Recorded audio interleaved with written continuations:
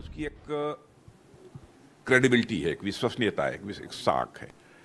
और हम लोग बराबर सजग रहते हैं कि कहीं कोई ऐसा काम हम लोगों की तरफ़ से ना हो कि भारत की राजनीति में क्राइसिस ऑफ़ क्रेडिबिलिटी एक विश्वसनीयता का संकट पैदा हो। इसलिए हम इलेक्शन मैनिफेस्टो में भी जो कहते हैं वो करते हैं।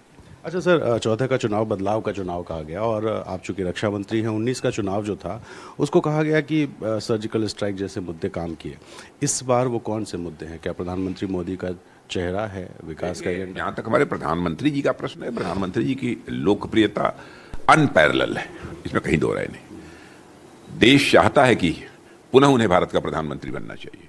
और देश इसलिए चाहता है कि लोग जानते हैं कि अंतर्राष्ट्रीय जगत में भारत का मस्तक इन्होंने ऊँचा किया है। हमारे प्रधानमंत्री ने।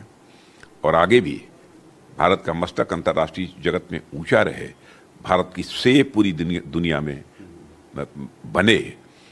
और यह काम यदि कोई कर सकता है तो भारतीय जनता पार्टी और उसके नेता मोदी जी ही कर सकते हैं। इसलिए मोदी जी के प्रति लोगों का विश्वास है भरोसा भरोसा। सर राहुल गांधी प्रियंका गांधी जी दोनों लोग के बारे में चर्चा है यूपी से लड़ सकते हैं, चूँकि आप लखनऊ से हैं, बगल की सीट से प्रियंका जी पहली बार चुनाव लड़ सकती हैं। इंडिया अलायंस को किस तरह का एक कंटेंडर आप देखते हैं? इस बार एनडीए का। नहीं, लड़ना चाहते हैं तो लड़ना चाहिए। देर क्यों कर रहे हैं? विलंब क्यों हो रही है? यहाँ से लड़ना चाहते हो, लड़े। भारतीय जनता पार्टी लड़ने को तैयार है। इस बार अस्सी पार का नारा है कितना यकीन है? क्योंकि पहले और दूसरे फ़ेज़ में कहा जा रहा है सर कि बहुत नुकसान है। कोशिश हमारी यह है कि उत्तर प्रदेश में अस्सी में अस्सी सीटों पर भारतीय जनता पार्टी विजय प्राप्त करे। प्रयत्न तो यही है।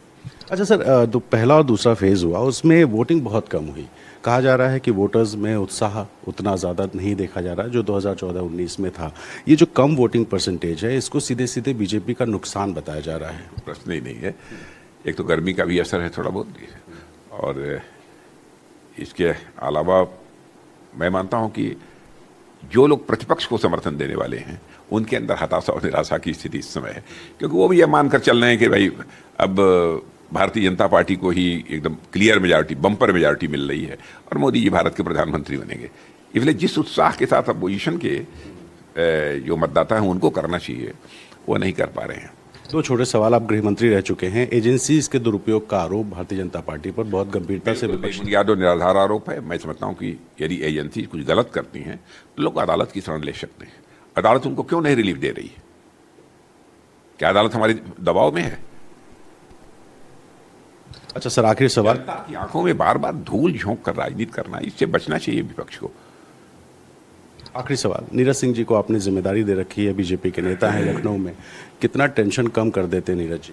नहीं नहीं हैं नीरज काम कर रहे हैं उनकी रुचि है इसमें कहीं दो रहे नहीं। पंकज भी काम कर रहे हैं पूरे परिवार के लोग भी मोदी जी ने तारीफ़ की थी इसलिए ये सवाल नहीं नहीं वो सब जो भी परिवार के सदस्य होते हैं सभी परिवार के सदस्य काम करते हैं लेकिन यहाँ की ज़िम्मेदारी सचमुच संगठन संभाल रहा है हमारे। यहाँ के हमारे अध्यक्ष हैं आनंद द्विवेदी वो देख रहे हैं और प्रबंधन का काम देख रहे हैं। चुनावी प्रबंधन का मुकेश शर्मा, ये सब लोग मिलकर ये लोग काम कर रहे हैं। बहुत शुक्रिया एन एनडीटीवी से बात करने के लिए। रक्षा मंत्री राजनाथ सिंह जी, जो तीसरी बार लखनऊ सीट से चुनाव मैदान में है और लखनऊ से माना जाता है बीजेपी की सबसे सेफ़ सीट है और नामांकन के साथ ही जो रोड शो हुआ, वही राजनाथ सिंह जी का प्रचार कहा जा रहा है। फ़िलहाल राजनाथ सिंह जी अपनी व्यवस्था के बीच में एनडीटीवी से बात की इनका बहुत शुक्रिया। कैमरा पर्सन राजेश गुप्ता के साथ रणवीर एन इंडिया के लिए। अच्छा